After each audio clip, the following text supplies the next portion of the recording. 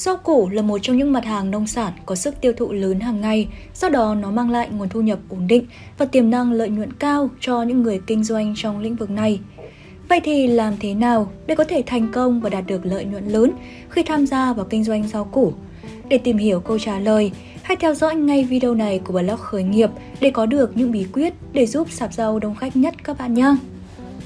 Chọn vị trí địa điểm thuận tiện, tìm nguồn hàng rau củ quả chất lượng, tìm hiểu thị trường, xác định giá bán, bày bán rau củ gọn gàng, bày bán đa dạng thêm các thực phẩm khô, có phương pháp giải quyết lượng rau tồn động mỗi ngày.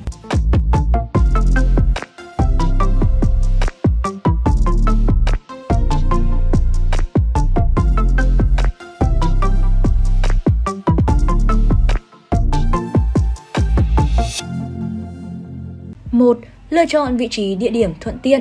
Lựa chọn một vị trí thuận tiện cho sạp rau của bạn là một yếu tố quan trọng trong quá trình kinh doanh.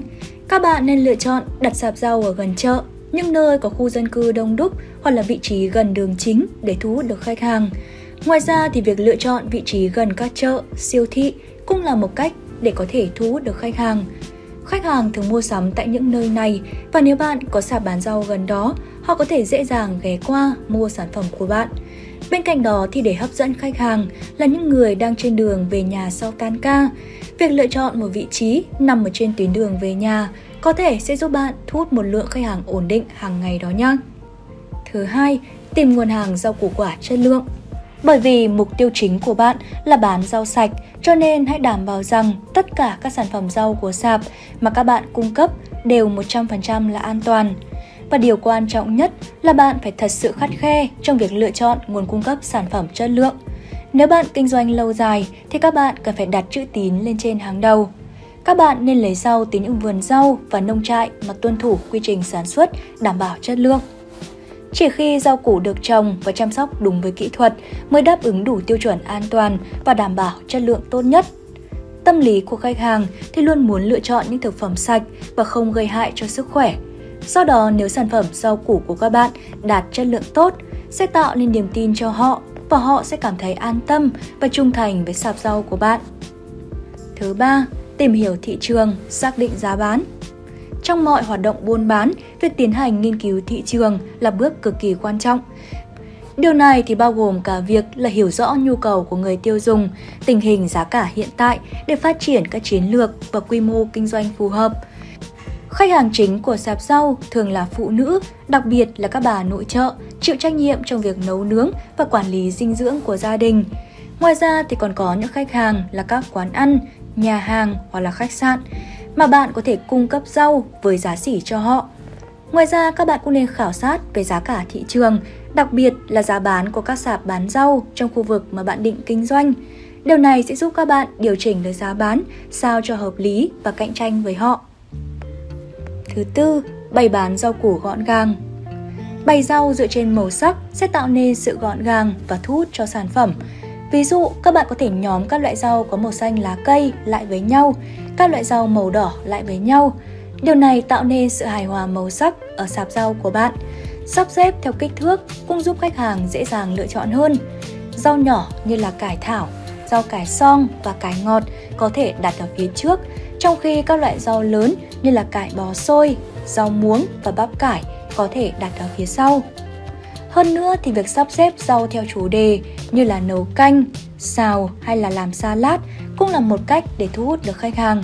Các bạn có thể nhóm các loại rau thành từng nhóm để giúp khách hàng tìm kiếm dễ dàng hơn. Ví dụ có thể cho các loại rau củ, rau lá và rau quả vào khu vực riêng. Sử dụng rổ để sắp xếp các loại rau cũng giúp tạo nên một sự ngăn nắp và dễ quản lý. Thứ năm, bày bán đa dạng thêm các loại thực phẩm khô.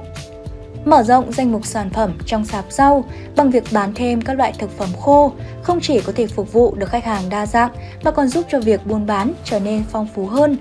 Và ngoài các loại rau tươi, các bạn có thể cung cấp các sản phẩm như là măng khô, mộc nhĩ, nấm hương, đỗ đen, đỗ xanh và rất nhiều loại khác.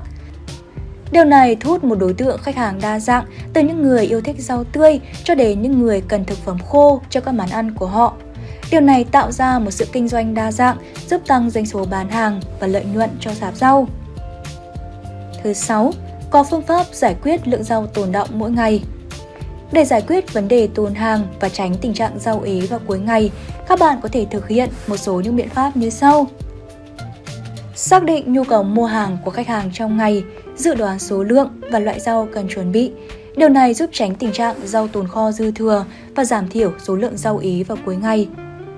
Gần cuối ngày, nếu còn nhiều rau chưa bán hết, các bạn có thể bán giảm giá hoặc là áp dụng các chương trình khuyến mãi để thu hút khách hàng mua hàng.